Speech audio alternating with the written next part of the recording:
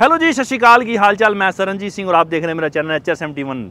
आज मैं आपको एक ऐसी शख्सियत से मिलाने जा रहा हूँ जिन्होंने बॉलीवुड बॉलीवुड अंदाज में कई फ़िल्मों में काम किया है और ये ख़ास तौर पे हरियाणा के ज़िला यमुनानगर से हैं। पहले भी मैंने आपको इनका इंटरव्यू दिखाया लेकिन आज फिर से आपको रूबरू कराएँगे क्योंकि उनकी ताज़ा एक फ़िल्म आई है ऋतिक रोशन के साथ। जी हाँ यमुनानगर जैसे शहर से ऋतिक रोशन के साथ काम करने वाले एक ऐसे किरदार हैं जिनका अक्सर नाम जूनियर जसपाल भट्टी से भी जाना जाता है। वो हमारे साथ इस वक्त मौजूद है। सर सबसे पहले आपका हमारे चैनल पर स्वागत है।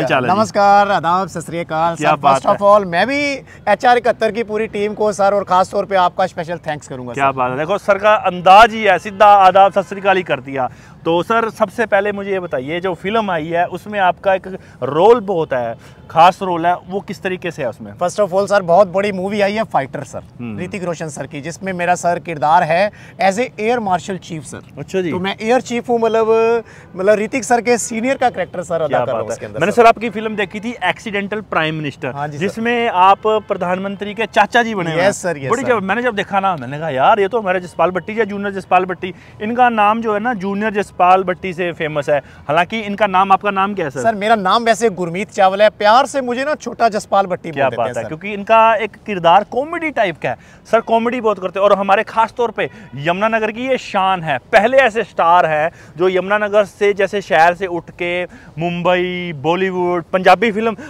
Punjabi film थी रुपिंदर गांधी वाली हाँ, उसमें भी गांधी टू सर पप्पे वाला रोल एक मेरी नड्डी हाँ। बांधती एक मेरी नड्डी बांधती क्या बात है क्या बात है। और अभी पीछे हरीश वर्मा की आई है सर तेरे लिए मूवी सर अच्छा, अच्छा, पंजाबी अच्छा, बहुत सारी पंजाबी मूवी की है और बॉलीवुड तो सर हैप्पी भाग जाएगी। अच्छा, उसके बाद total Dhamaal accidental prime minister और सबसे बड़ी बात सर पीछे अमिताभ बच्चन सर के साथ काम करने का मौका मिला फ़िल्म का नाम था गुड बाय अच्छा Amitabh Bachchan the big boss कह हाँ लीजिए हाँ या बिग बी कह लीजिए उनके साथ भी इन्होंने खास तौर पे काम किया है। तो सर आप ये शुरुआत की थी सफ़र कभी आपने सोचा था कि आपको एच आर सेवेंटी वन पे आने का मौका मिलेगा? सर नेचुरली बात है आपने भी सर कॉमेडी कर दी वैसे अच्छा लगा सर। लेकिन मैंने तो ये भी नहीं सोचा था कि सर की मैं एक छोटे से यूट्यूब चैनल पे भी आऊँगा। हाँ, लेकिन आज मैं बॉलीवुड के पर्दे पे आ गया आपने इतनी सारी फ़िल्में हमारा चैनल बहुत बड़ा है। सर मैं बॉलीवुड लेकिन मैं सच्ची प्राउड फील कर रहा हूँ सर क्योंकि यमुना नगर वाले मुझे इतना प्यार दे रहे हैं और आप जैसे भाई मुझे इतना प्यार दे रहे हैं तो नेचुरली हम्म। बात अभी तो दौर स्टार्ट हुआ है सर अभी और सारी धमाल मचनी बाकी अच्छा अभी एक एड भी आई है होंडा शाइन की। हाँ हाँ उसमें भी सर का रोल है। हल्का सा मैं फ्लैशबैक दिखाता हूँ थोड़ा सा देखिए।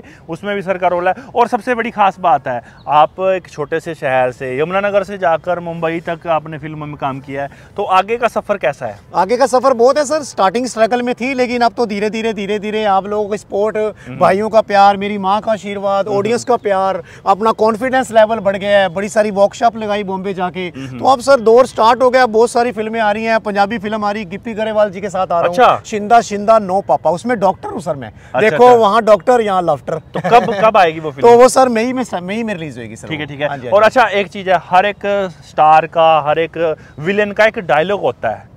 मोगेम्बो खुश हुआ तो हाँ ਤੁਹਾਡਾ ਕੀ ਡਾਇਲੌਗ ਹੈ ਆਪਕਾ ਕੀ ਖਾਸ ਡਾਇਲੌਗ रहता सर मेरा तो रुपिंदर गांधी 2 वाला डायलॉग सबसे वायरल एक बार साडे दर्शकों जरूर दसो हां दर्शकों को याद है मैं स्कूटर पे जा रहा था मेरी जनानी बैठी काली सी गांधी ग्रुप ने टक्कर मारती ਤੇ ਫਿਰ ਉਹ ਕਹਿ ਰਹੇ ਸੱਟ ਤਾਂ ਨਹੀਂ ਲੱਗੀ ਮੈਂ ਕਿਹਾ ਨਾ ਨਾ ਉਹ ਤਾਂ ਮੈਂ ਵੈਸੇ ਹੀ ਸਕੂਟਰ ਸੜਕ ਤੇ ਲਟਾਤਾ ਸੀ ਤੇ ਆਪਣੀ ਜਨਾਨੀ ਨਾਲ ਲੇਟ ਕੇ ਸਨ ਬਾਥ ਲੈ ਰਿਹਾ ਸੀ ਮੈਂ ਕਿਹਾ ਤੁਹਾਡੀਆਂ ਅੱਖਾਂ ਨੇ ਕਿ ਟਿਚ ਬਟਨ ਕਹਿੰਦੇ ਭਾਜੀ ਜਾਨ ਕੇ ਟੱਕਰ ਨਹੀਂ ਮਾਰੀ ਮੈਂ ਕਿਹਾ ਜਾਨ ਨਾ ਤੁਹਾਨੂੰ ਲੰਡਰਾਂ ਨੂੰ ਜਿੱਥੇ ਸੋਹਣੀ ਜਨਾਨੀ ਵੇਖੀ ਨਹੀਂ ਆ ਕੇ ਵਿੱਚ ਵੱਜ ਜਾਓ और फिर आपने बाद में ये भी कहा था कि भाई तू रुपिंदर गांधी वीर जानना अपना वीर है। हाँ, गांधी नु जानना बुरा लगता है अपना। वो बड़ा वायरल हुआ था सर वहीं से मैं स्टार बना था सही क्या बात है।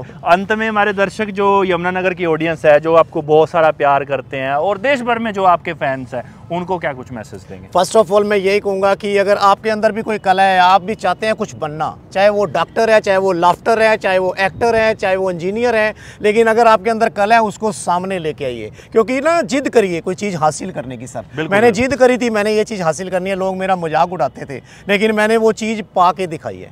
वो कहते हैं ना कि मेहनत का फल ज़रूर मिलता है मेरा खुद का साया मुझे धूप में मिला सर। तो मैंने बड़ी कोशिश की है बड़ा स्ट्रगल किया है और मेरा सारी ऑडियंस से देशवासियों से यही संदेश है प्यार बनाए रखें नशों से दूर रहें जो आपके अंदर एक्टिविटी है जो आपके अंदर क्वालिटी है उसको लेके आए। कहते हैं ना कि मौत एक बार मिलती है मेरे हिसाब से ज़िंदगी एक बार और मिलती है उसको बंदा सरदार बंदा तो वैसे भी कोई जिद पकड़ ले वो तो पूरे करके छोड़ता है। हाँ वही कह रहे ना कि फलक को जिद है जहाँ बिजलियाँ गिराने की हमने भी कसम खाई है वहाँ आशियाँ बनाने की। बस प्यार चाहिए मुझे देशवासियों का अपने शहर वासियों का प्यारी प्यारी ऑडियंस का एच आर इकहत्तर की ऑडियंस का। और आप भाइयों का ऐसे प्यार बना रहे मैं सही कह रहा हूँ पूरे वर्ल्ड में अपने यमुना नगर का नाम रोशन करके रहूँगा ये आपसे वादा है और मेरी अगर किसी ने सपोर्ट करी है सर इस लाइन में तो मेरी माँ ने करी है क्या पता है? अच्छा जूनियर जसपाल भट्टी का ड्रीम क्या है?